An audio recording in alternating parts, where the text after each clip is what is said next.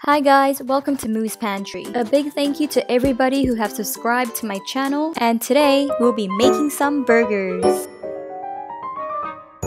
Most burger buns are made with vegetable oil because they are cheaper and some are made with butter but they're more expensive. So in this video, we will compare buns made with vegetable oil versus butter and see if there are differences in appearance, squish factor, texture and taste, and of course, which bun is best for burgers and can hold all that sauce. Alright, let's start. Let's make the bread. Starting off with some warm to touch water that's about 30 to 32 degrees Celsius because we don't want it to be too hot that can kill the yeast. Then I'm gonna add my instant dry yeast and give it a quick mix to let it dissolve.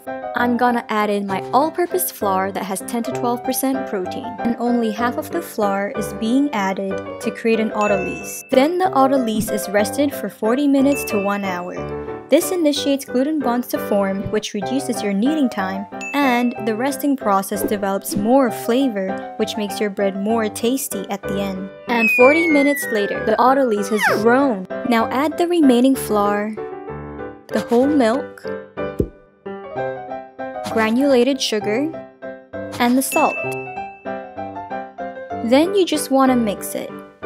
And you'll notice that the autolyse is very stretchy and is also very dry. So we will add an extra 22 grams of water and it still looks dry but don't worry, we will add an egg. Next, I'm gonna mix all of these ingredients together until it's combined and it can stretch like this. Now the dough is ready for our vegetable oil and our butter. You might notice that the mass of butter and oil are different because butter contains 80% fat and 20% water, whereas oil is 100% fat. So I have to add more butter so that the fat content is equal.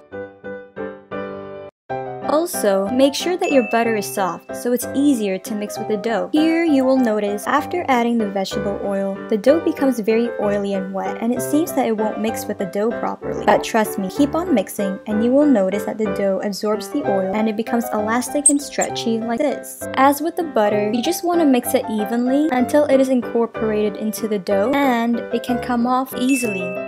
Alright, after that's done, place your dough on the table and knead it back and forth. At this stage, the dough is very sticky and you might be tempted to add some flour, but don't do that because it will make the bread harder. Instead, just keep kneading and you'll notice the dough will not be sticky anymore, which means the gluten structure is forming. So just keep on kneading until you feel more resistance and when you pick the dough off the table, it should come off cleanly and easily too. At this point, you just want to slap the dough on the table to make the surface nice and smooth. Now now I'm gonna quickly shape my dough into a round ball. Put it in a greased bowl, dab some water on top, cover it with a damp towel, and let it rest for 10 minutes before the window pane test. I do this by removing a bit of the dough, stretch it gently until you get a thin film that you can see your finger through it. If this film does not break, it means that you kneaded your dough very well and you have a strong gluten structure. Having a strong gluten structure is important so that your dough can hold all the air bubbles produced during fermentation and you will get a nice fluffy soft bread after baking. Moving on, we will shape our dough again until it's nice and smooth. Put it back in the greased bowl, dab some water on top so it won't be dry, cover it with a warm towel, and then put it in the oven, which I warmed with a pot of boiling water that created some steam. Now, be careful, the steam is very hot and you want to let it air out a bit so you don't kill the yeast during the fermentation process.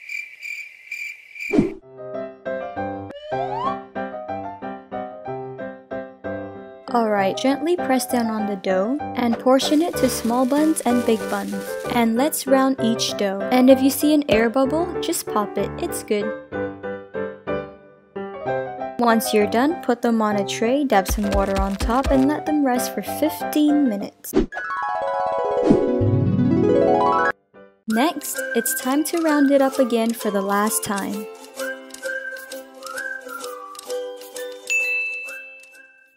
Make sure to leave two fingers apart from each dough so that it has space to expand. And I'm gonna let this ferment for 20 minutes in a warm place before baking. After the buns have grown twice its size, I'm gonna brush some egg wash on it to give it that nice golden color. Okay, time to bake! This will take about 17 to 21 minutes and I'm saying this because each oven is different so you want to monitor your breads and make sure that's a nice deep golden brown color before you take it out. And quick tip, to check if your buns are fully baked you want to tap its bottom and it should sound hollow like this.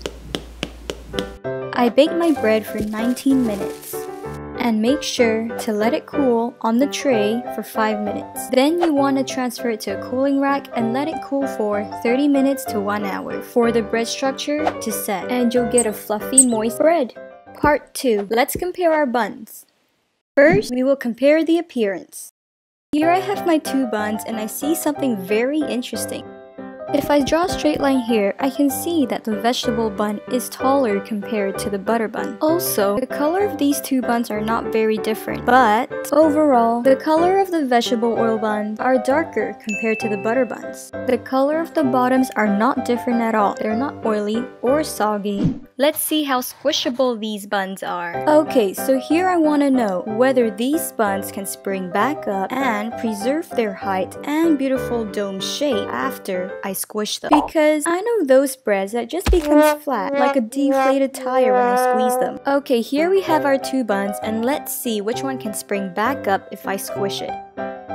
Oh, I guess this butter bun is a defect. But I'm gonna give these butter buns another chance. So I'm gonna swap it out with a new one, as well as the vegetable oil bun. I'm gonna squeeze it and see if the butter bun is still behaving that way.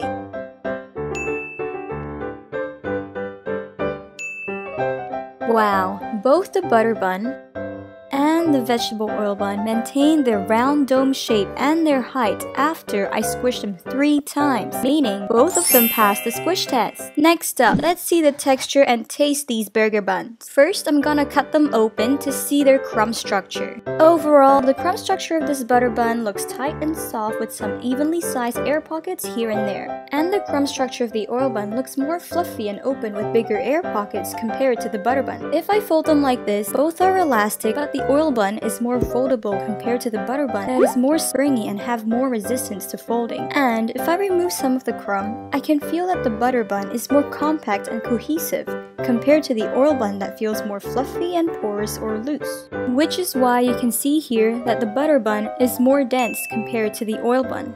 Alright, enough about crumbs, let's taste them, and before that, let's make a burger.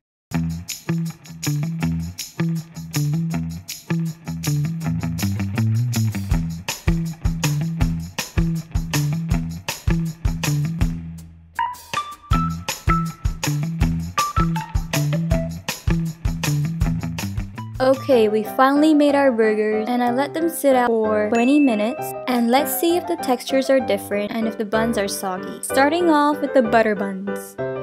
Even though it has been sitting out for 20 minutes, the top and bottom buns are definitely not soggy. Let's give this a taste. This burger bun is really good. The patty is nice and moist, and the butter bun is soft and buttery, and it has a nice bite and chew to it. Overall, the texture stands out from the other burger components. Okay, moving on to the oil bun. This oil bun definitely has a more open crumb structure compared to the butter bun. Even though the bread is very porous, the top and bottom buns are not soggy, even after it has been sitting for 20 minutes. Time to taste it! I really like the soft, fluffy, and airy texture of this oil bun. The bun is not dense, and its texture really blends in with the other burger components, but it is less buttery. So both of these taste good, and it's really hard to choose, but which bun is better for burgers? And the winner is... the vegetable oil bun! For me, the winning factor of this veggie oil bun is its very soft and fluffy texture that just melts together with all the other burger ingredients. And it can hold up a lot of sauce without being soggy. And don't get me wrong, I really like the butter bun too. It's very tasty on its own and it's amazing for garlic breads. But I prefer a softer and fluffier bread for my burgers. So if you're curious which type of bun you would like, give this recipe a try. And if you like this video, give it a like and subscribe. Thanks for watching and I'll I'll see you soon.